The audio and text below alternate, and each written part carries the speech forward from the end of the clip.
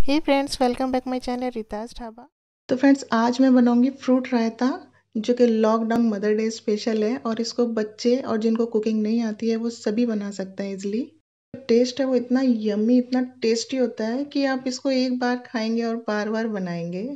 Friends चलिए देख लेते हैं फ्रूट्स रायता बनाने के लिए हमें किन चीज़ों की ज़रूरत होगी। ये मैंने 400 ग्राम्स दही ली है कर्ड और इसमें मिलाया है मैंने हाफ़ कप चिल्ड मिल्क ठंडा दूध।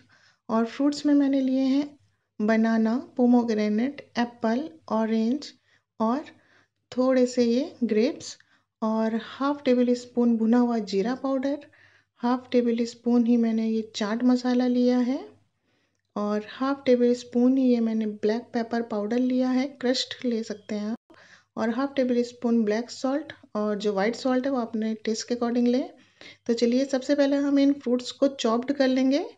और बनाना स्टार्ट करते हैं अपना यम्मी टेस्टी फ्रूट रहता, जो फ्रूट्स हैं, उनको मैंने इस तरह से ये देखिए चॉप्ड कर लिया है। तो फ्रूट्स मैंने ये वन वन बाउल लिया है। पोमोग्रेनेट थोड़े से कम लिए हैं।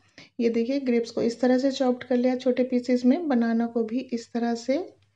और एप्पल्स को।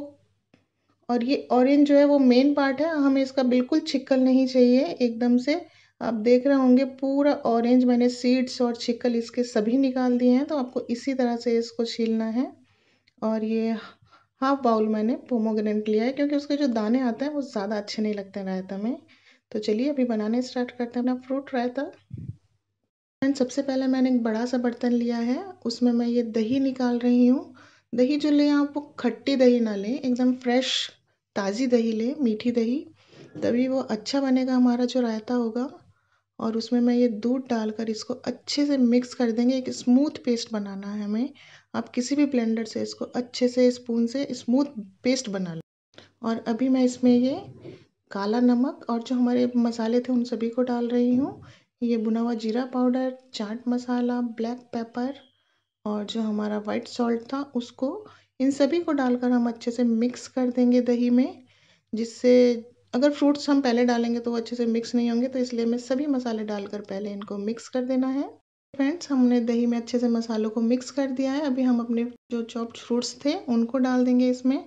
और आप इस रायते को कभी भी किसी भी किट्टी पार्टी बर्थडे पार्टी या आपका कोई स्पेशल गेस्ट आए तो ज़रूर ट्राई कीजिएगा। बहुत ही यूनिक बहुत ही यम्मी टेस्टी रेसिपी है और कलर देखिए कितना अच्छा आता है इसका निकल कर बच्चों, बड़ों सभी को बहुत पसंद आएगी। एक बार ज़रूर ट्राई कीजिए इसको इस बार। आपको ये थोड़ा सा थिक लग रहा है फ्रूट्स डालने के बाद में तो आप इसमें थोड़ी सी दही या दूध ऐड कर सकते हैं।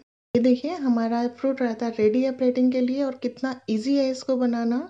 जिनको कुकिंग आती है या नहीं आती है, बच्चे भी इसको बना सकते हैं। तो इस mother day lockdown special mother day पर इसको ज़रूर ट्राई कीजिएगा और कमेंट्स कर कर मुझे बताइएगा।